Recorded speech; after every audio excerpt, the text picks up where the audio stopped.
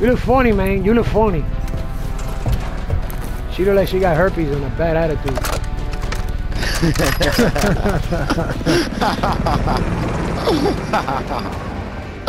Second Alright, place. I'll take it.